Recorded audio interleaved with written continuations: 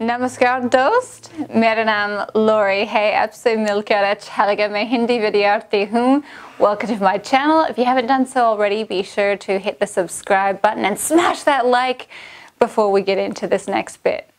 Right, so today I want to do a quick video about the difference between learning Hindi and learning another language, specifically French. Okay, so my experience is, uh, as some of you will know, I am a native English speaker from Canada.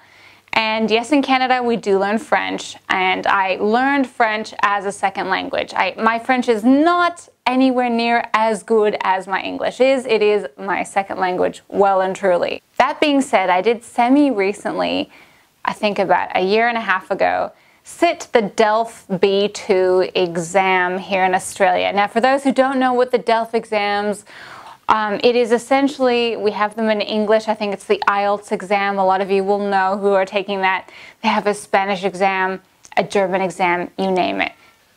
Quand j'ai réussi mon examen de DELF B2, j'étais très heureuse parce que ça veut dire euh, je peux parler le français couramment, uh, presque couramment. And it meant that I could go to a university, a crappy one, in France and just take like, if I wanted to, I could go to a university and study science in French or study arts in French or study, you know, just any normal subject like a normal French student, um, which was really, really cool. That was a really big milestone for me. Does it mean that my French is as good as my English is? As I said before, no, it doesn't. Um, but yeah, you know, I've got a certain level of French. That being said, every time I go to France, or recently I was in New Caledonia, or anywhere that has French um, as a main language, or even going to friends' houses who have um, French speaking friends from France or whatever. I never feel comfortable speaking French. And that's because, and I'm making a blanket statement and I'm ready for the hate to roll in, French people are very particular about their language and they can come across, specifically Parisians. I'm sorry if you're watching this and you're Parisian, but you'll know this is true. You're snobby about your language. So I will go up and simply want to order a coffee and I will choke. I'll, in my brain, I'll be like, going up to the counter and I'll be like, okay, je prends un café, je prends un café s'il vous plaît. And I'll just be thinking all this stuff and I'll say it and they hear the slightest accent on me and they'll go, oh, l'anglais, oh, English, English speaker, oh, oh, you would like a coffee? And I'll be like, ah, oh, yeah, yes, please, I'll have a coffee. And I've had so many bad experiences that my friends have seen me um, experience that are very funny where people will just say to me, and it's not true, oh, your French is very bad. And they'll be dying laughing. And I remember one time I was in, it wasn't Belgium, I think it might have been Luxembourg, and my friend Shannon and I went to a chip shop.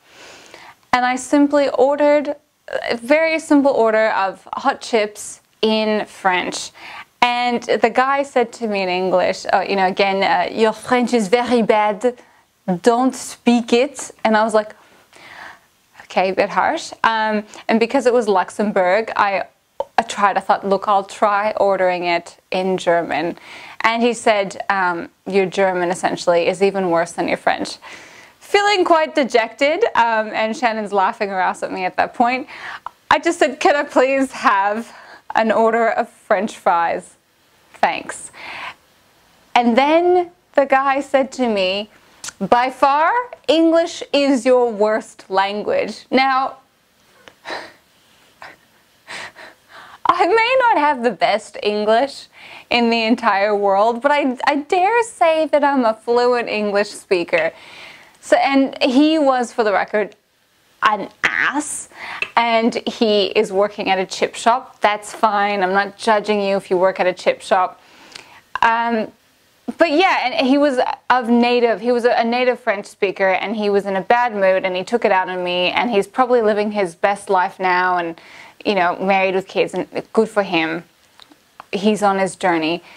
But there is that stigma, there's that enduring stigma about learning French that people find to be very intimidating to practice. And there's good reason for that. You know, we've all had those experiences where we just get burned by a French person. Anyway, in contrast of that, I wanted to say my experience learning Hindi has been amazing. Hindi speaking people are extremely welcoming to those who are learning their language. Of course, there will be some exceptions and there will be asshole Indians, just like there are asshole French people, asshole Canadians. Actually, there aren't many asshole Canadians, to be totally honest. Asshole Americans, asshole Australians, you name it. So, of course, I'm not saying all Indian people are nice, I'm not that naive. But living in Australia, there are a lot of Indian people here, and truthfully, every time I step out my door, I have the opportunity to speak Hindi in Australia. I'm very lucky. So, as opposed to a lot of other languages here, like learning French, you wouldn't have the opportunity to try and practice French every day.